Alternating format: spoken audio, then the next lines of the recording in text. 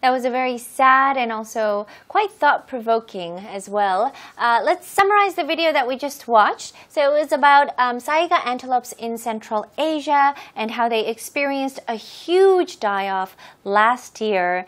And scientists had no idea why this was happening, so uh, they were trying to figure out why these antelopes died, also in such a short period of time as well. And at the end, they found out that uh, these Saiga antelopes died uh, due to weather changes. So it was very very cold and so because of the um, of the decline in weather uh, or the decline in temperature these bacteria um, that I guess they changed on the body and they uh, started to attack um, these antelopes and that's why they died off. Um, and also these weather changes, they have a lot to do with us. So humans contribute to weather uh, changes. So uh, the bottom line is that we are responsible for the death for the deaths of these saiga antelopes.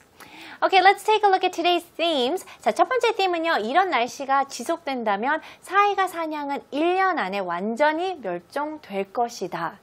두 번째 문장은요. 침묵을 통해 그들이 남긴 경고. 어, 두 번째 theme 경우에는 저희가 완전한 문장으로 만들 거예요. 자, 이 두 문장을 영어로 바꿔보겠습니다. 일단 오늘 핵심 표현들 한번 어, 살펴보겠습니다. 자, 지식 복화로 넘어갈게요. 첫 번째 핵심 표현은 멸종되다, 멸종되다. 이 표현은 꼭 아셔야 되겠죠? 멸종은 extinction라고 합니다. 자, 발음은요. 보통 EX를 X라고 하잖아요. X. 하지만 여기서는 원어민들이 더 많이 X, I처럼 읽거든요. 그래서 extinction, extinction 이렇게 빨리 읽을 때는 거의 I처럼 읽게 돼요. extinction, 오케이? 하지만 어, E X T I N C T 그래서 extinction, extinction, 오케이? 어, 멸종되다 할 때는 become을 사용해서 become extinct. become extinct. Uh, the Saiga antelope will become extinct. 멸종한 동물들을 extinct animals, extinct animals. 어, 멸종 위기의 동물들은 endangered animals. If you take a look at this word, you'll see another word inside this word. Do you see the word danger? Okay. So this is talking about animals who are uh, in danger. They are about to be extinct. And we call them endangered animals. Endangered animals. So if you think about it, saiga antelopes are also endangered animals. They're endangered species. Okay, 멸종되다, become extinct. become extinct. 오늘 theme에서 꼭 사용하는 표현입니다. 그래서 기억하셔야 됩니다. 멸종되다, become extinct. become extinct. 자, 두 번째 핵심 표현은요. 침묵입니다. 침묵. 침묵은 silence라고 합니다. S-I-L-E-N-C-E. silence. 어, 묵도 할 때는 a moment of silence. So perhaps it's like some uh, historical day where you're remembering people who died. You'll usually have a moment of silence. And people give you that moment of silence to think and to remember uh, what that person contributed or what people contributed. So usually when you're remembering people who have already passed away, we say we have a moment of silence. Okay? moment라고 하면 순간이죠. So a moment of silence. Um, 침묵을 통해는 통해 할 때는 through silence입니다. 저희가 이 표현을 사용할 거예요. through silence. 자, 침묵은 silence. 어, 누구한테 이렇게 조용해 라고 할 때는 보통은 be quiet라고 하지만 어, 그거보다 조금 더 격식 있게 말하고 싶으면 silence. Silence라고 하거든요. 영화에서 아마 자주 보셨을 거예요. 그래서 silence 이렇게 할 때요. Okay, let's take a look at today's first theme. 자, 지식 라이팅 시작할게요. 어, 이런 날씨가 지속된다면 사이가 사냥은 1년 안에 완전히 멸종될 것이다. 자, 영어로 한번 바꿔보겠습니다. 자, 일단 이 문장을 저희가 청킹을 해야 됩니다. 한 단어씩 어, 번역을 할 생각하지 마시고요. 이렇게 청킹을 하면서 좀 더 크게 청킹을 하시면서 하면 어, 영작이 훨씬 쉬워질 거예요. 그래서 이런 날씨가 지속된다면 면으로 끝나니까 이거는 조건문이라고 합니다. This is a conditional sentence. If something happens, then this will happen. Okay, this is a conditional sentence. So if부터 시작할 거예요. if 그 다음에 날씨가 날씨는 그냥 weather. 그래서 if 뭐 this weather continues라고 그렇게 간단하게 얘기하셔도 됩니다. 하지만 날씨 어, 상태, 날씨의 상황을 얘기를 하는 거잖아요. 그래서 conditions라고 제가 좀 더 구체적으로 설명을 했습니다. 그래서 어, 이거는 또 일반적으로 얘기를 하고 날씨 상태가 뭐 다양하잖아요. 그래서 s를 붙였습니다. 그래서 condition이 복, 복수 형태라서 this도 복수 형태로 these라고 하셔야 되겠죠. 그래서 if these weather conditions 자 지속된다면 그래서 계속된다는 말이잖아요. continue. So if these weather conditions continue, then what is going to happen? Saiga antelopes will become completely extinct. 그래서 사이가 산양은 완전히 멸종될 것이다. 자, 사이가 산양은 saiga antelopes. 스펠링 조심하세요. 뭐에 대해서 이렇게 글을 쓸 때는 항상 조금이라도 불안하시면 사전에 보셔서 스펠링 체크 꼭 하세요. 오케이? saiga antelopes. 자, 일반적으로 얘기를 하니까 s를 붙이고요.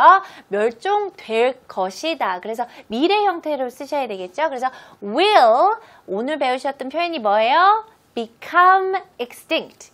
will become extinct. 하지만 이 멸종될 것이다를 꾸며주는 표현 하나 더 있어요. 완전히. 자, 완전히는 부사가 되겠죠? It's an adverb. So complete가 아니고 completely, ly를 붙이셔야 되겠죠? 그래서 사이가 antelopes will become completely extinct. 사이가 antelopes will become completely extinct. 어, completely는 꼭 여기 쓰셔야 될 필요는 없어요. You can say 사이가 antelopes will completely become extinct. will 하고 become 사이에 넣으셔도 됩니다. Okay, let's take a look at the next part. 자, 1년 안에, 1년은 a year라고 하죠. 어, 아니면 one year라고 하셔도 되고요.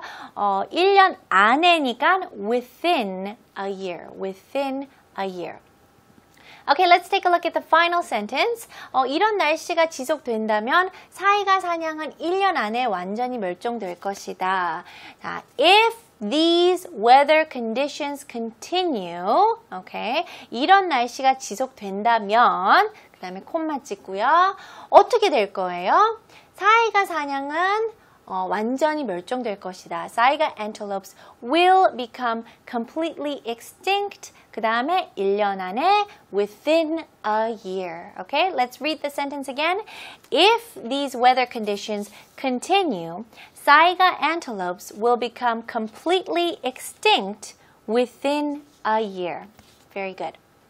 Okay, let's take a look at the second sentence. 자, 두 번째 팀 보겠습니다. 침묵을 통해 그들이 남긴 경고. 자, 어, 지식 채널 이 영상에서 어, 이런 얘기가 많잖아요. 완전한 문장 아니라서 저희가 완전한 문장으로 조금 변경시킬 거예요. 침묵을 통해 그들이 경고를 남겼다라고 할게요. 침묵을 통해 그들이 경고를 남겼다. 한번 영어로 바꿔보겠습니다. 자, 침묵을 통해 자, 침묵은 뭐라고 했죠? silence. silence. 자, 통해. 그래서 through silence입니다. through silence. 하지만 이거는 어, 항상 영어에는 소유격, 소유격이 많이 들어갔다고 제가 어, 계속 언급하잖아요. 여기서도 똑같아요.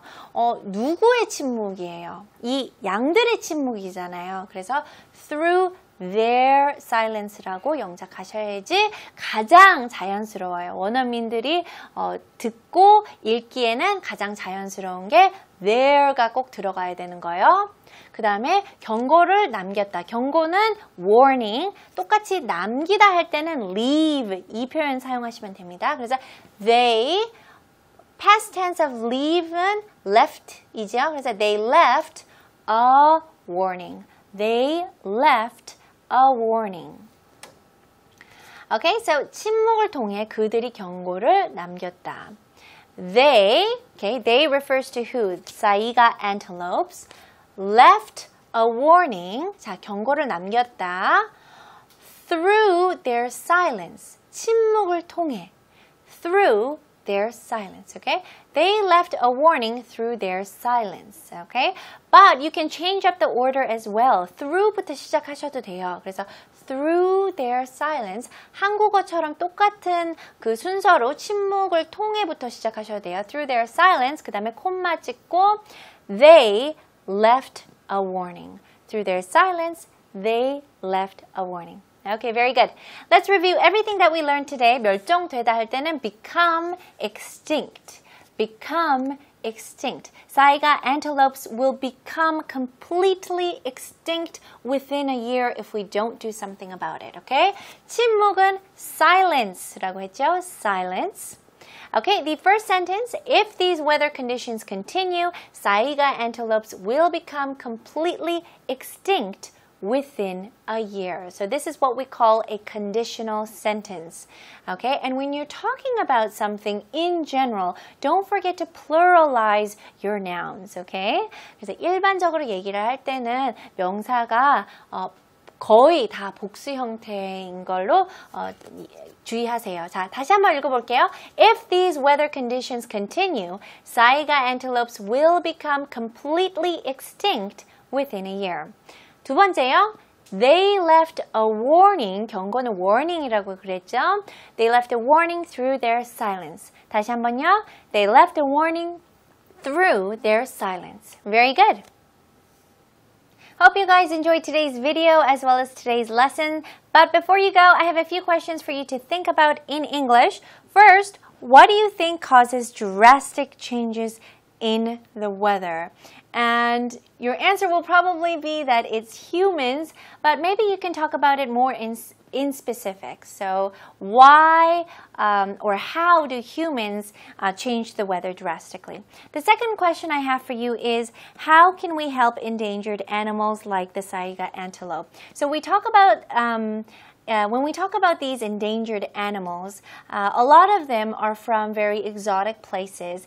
The Saiga antelope, for instance, uh, is from Central Asia. So we kind of feel like there's such a huge distance, and you think, you know, what can I possibly do? Well, there is uh, something that you can do. So think about ways that we can help endangered animals.